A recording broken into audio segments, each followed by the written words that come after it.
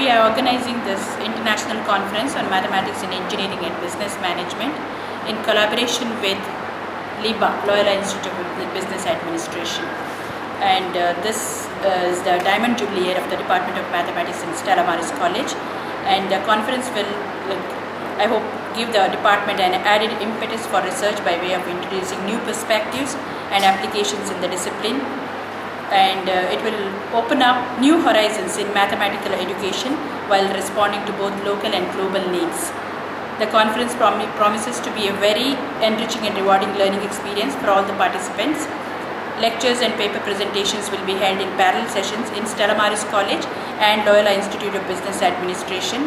There are several eminent mathematicians and experts from the fields of business, engineering and industry who are attending the conference and participants will have many opportunities to interact with them and learn from their vast experience. 327 research papers have been received and 242 have been selected for presentation and publication.